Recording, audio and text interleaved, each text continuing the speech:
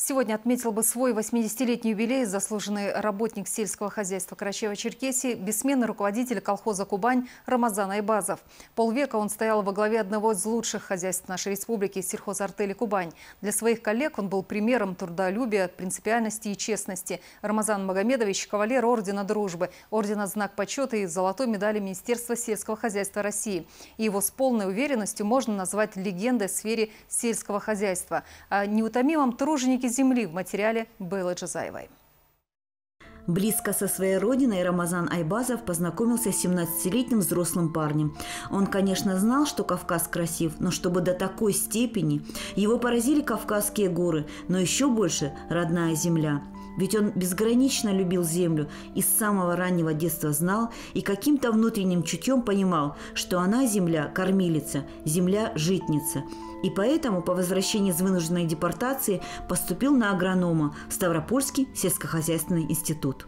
Я вообще люблю сельское хозяйство и учился на агронома. Я мог бы и на кого-то другого учиться. Почему-то вот мне нравится из детства растения, ну и благородная работа – выращивать хлеб. На долю его поколения легла ответственная задача – поднимать все сферы жизнедеятельности – том числе сельское хозяйство.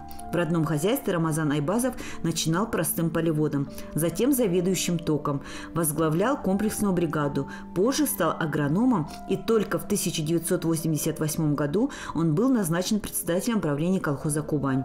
Он был уникальным руководителем не просто потому, что придавал огромное значение технологии выращивания сельскохозяйственных культур, внедрял все действенные передовые методы в животноводческий комплекс, а потому что всегда держал руку на пульсе пульсе. Это если говорить в целом, а если быть точным, не было в хозяйстве ни одной пяди земли, где бы не ступала нога Айбазова. Он вообще не любил сидеть в председательском кабинете. Его машина колесила везде. На тот момент в колхозе было более 80 полей, и он объезжал их каждый день. Был лето сезон пахоты, жатвы или сева. А появлялся он на работе уже в 6 утра. Колхозники привыкли к тому, что председатель был всегда рядом и все регулировал. Я радуюсь, если хорошо получается вот этому люду, который здесь живет, который здесь работает. Благодаря общим усилиям и, конечно, под руководством этого гениального директора колхоз «Кубань» стал лучшим в республике. И даже в трудные 90-е, и тогда, когда от колхоза отпочковались два соседних населенных пункта, он удержал колхоз на плаву. Он сохранил все, абсолютно все, пусть и ценой своих неимоверных усилий. И не было в истории колхоза, чтобы его работники не получали свою заработную плату вовремя. Всегда при любой ситуации Айбазов ставил во главу угла благосостояние своих людей. Колхозники Кубани всегда жили хорошо, и на вопрос, который Айбазову задавали часто, как быть председателем колхоза, он всегда уверенно отвечал – надо очень любить землю и очень любить людей, которые ее обрабатывают. Рамазан Магометович Айбазов – это выдающийся сын карачаевского народа. Карачаевский народ может и должен гордиться этим он выдающийся сын и всей Карачаево-Черкесской республики, всех народов Карачаево-Черкесии. Он выдающийся сын всей Российской Федерации.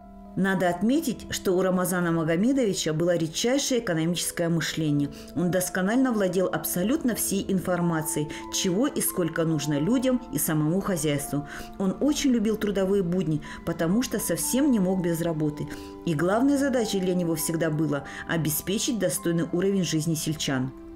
Сегодня дело своего отца продолжает его старшая дочь Марина. Уже можно говорить о том, что отцовские гены в новом председателе точно есть. Она также не знает устали. Многое, конечно, предстоит сделать, сохранить и завоевать. А в общий успех дела сельчане уже верят. Была Джазаева Светлана Шендрик, Вести Карачаева, Черкесия.